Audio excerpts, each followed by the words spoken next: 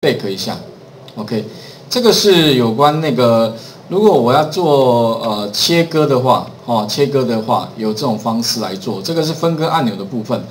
那再来的话就是说，甚至我可以做出什么类似像这样的一个效果，就是说我们可以在这个地方也是一样再加一个图，然后呢再放什么？放两排的文字，好，两排文字也可以做一个分割的效果，类似像这样子哦。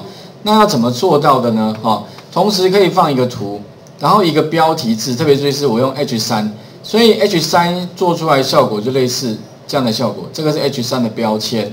另外的话还有一个什么呢？Class 这个 Class 的话后面加上一个什么？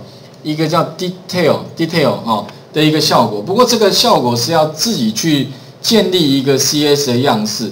那这个 CS 样式呢，它就会帮我做格式化成绿色的字，类似像这样的效果出来。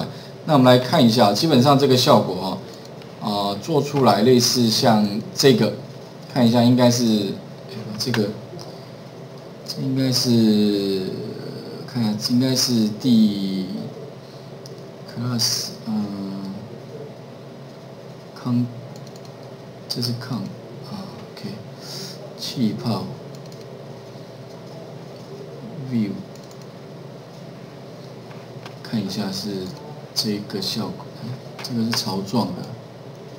好，那各位先试试看好了，先试着就是类似像这样的效果哈，切割的效果哈。来，画面先还给。其实各位可以改一下，这边如果说你今天希望哈，让呃这边做做两区有没有？前面一个超连接，后面一个超连接有没有？可以形成，它只要是有两个超连接，就会形成两区哦。特别注意哦，就是说。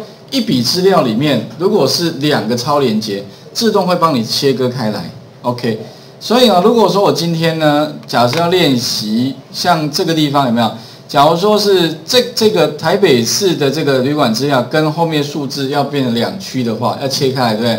各位可以这样做了，就是说先选取有没有？选取这个台北市万华区的这个旅馆资料有没有？然后超连接呢，你就连接到假设哈，你用做一个假的，你就是做一个什么一个井就可以了。一个井等于是连接到某一个地方去，OK。然后呢，后面三十一的话，你也可以怎样再选取它，再加上一个井，OK。好，做完之后的话，你把它 save 一下，好，然后再预览，及时预览一下，各位可以看一下哈。那这个效果，各位有没有发现？这边就一个超连接，后面一个超连接，好。